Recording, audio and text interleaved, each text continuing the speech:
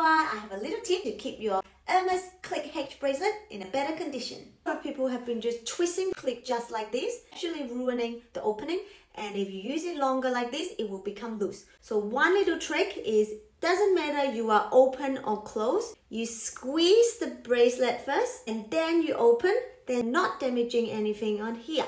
So even though when you close it, just squeeze a little bit more than you need and then you close it back. Can you see a little gap in here? So if I squeeze it, then you turn, then you are not damaging the clip in here. This way, you can actually keep the bracelet and they won't become loose because if that become loose, once you flip your hand, it might come off. If you don't want to open or close anything, this is a better option for you. This is just a bangle, no clip, need to squeeze anything, so just go in and it's very easy.